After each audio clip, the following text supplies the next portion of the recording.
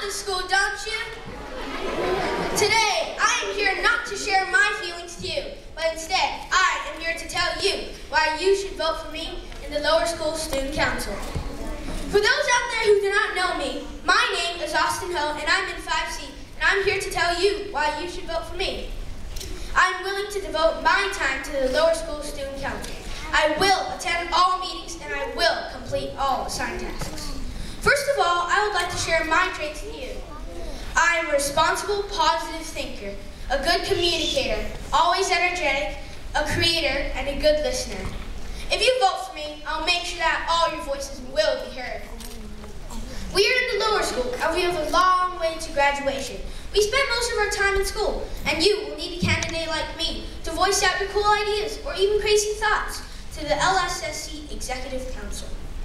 This is what I plan to make it happen. Although I cannot promise you all that your ideas will be chosen, but I can promise you one thing. I'll make sure that you have an awesome and memorable year.